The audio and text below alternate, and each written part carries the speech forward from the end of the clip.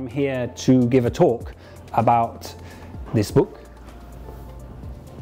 Made in London, which is about manufacturing in this city. This is not only special, but we should do more to nurture and uh, allow a place in the city for these kind of businesses. But the heart of it is so first of all, celebrate it. Tell people what there is, tell people how diverse it is, how it's all across the city. And that's pretty extraordinary that that's still there. Our mission is really to kind of educate and inspire and inform. We want people to go away knowing a little bit more about the city they live in or that they like to visit.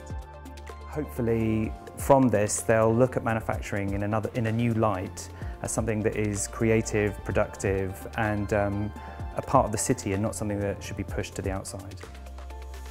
It was really optimistic and hopeful presentation about all these skills that are being created and developed and continued and I just don't think enough people know about that so my plan now is to try and make a map with all that data they've collected uh, to show people.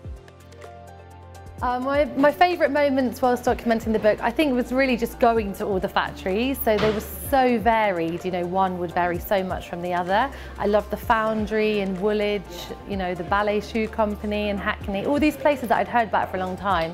It was a real privilege to go and visit them all. What I would like people to take away from this evening is an enthusiasm, a, a new awareness of what is made in this city and a bit of a passion to tell others, especially those with influence, that we should do more to nurture the manufacturing economy together with the rest of the industrial economy and find a welcome for it ongoing in our city.